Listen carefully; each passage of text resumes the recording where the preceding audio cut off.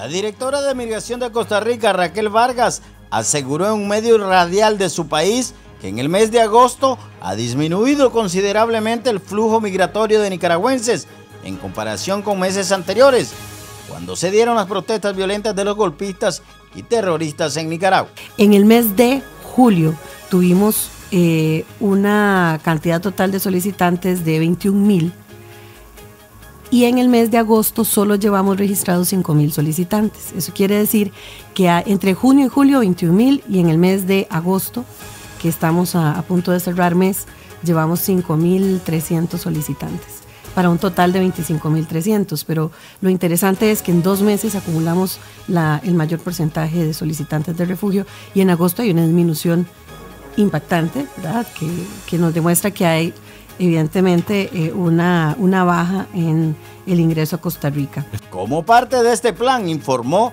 que desde enero del 2018 hasta la fecha han deportado más de 400 nicaragüenses que no cumplen con la condición para ser reconocidos como refugiados. Si la persona cometió un delito, no puede ser refugiada. El mismo estatuto que protege al refugiado dice claramente que si la persona ha cometido un delito, no puede ser reconocido como refugiado porque no lo merece. Ante esta circunstancia, hemos trabajado justamente muy fuerte atendiendo la seguridad nacional, deteniendo a las personas que tienen antecedentes criminales y deportando. A la fecha hemos deportado 478 personas nicaragüenses que tienen...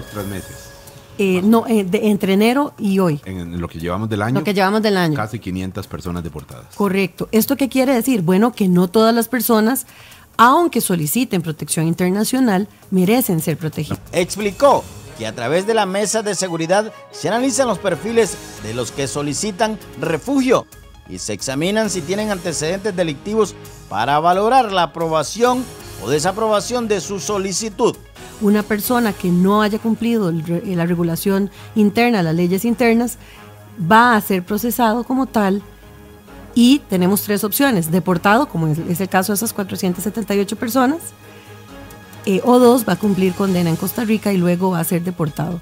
Una persona que cometa un delito, la ley de migración establece que no puede estar en el país. Es más, una vez que cumpla condena, no puede regresar hasta dentro de 10 años al país. Aunque tienen un plan de atención integral para el flujo de migrantes, la directora de Migración de Costa Rica dijo que esta no es una situación que los lleve a declarar emergencia nacional.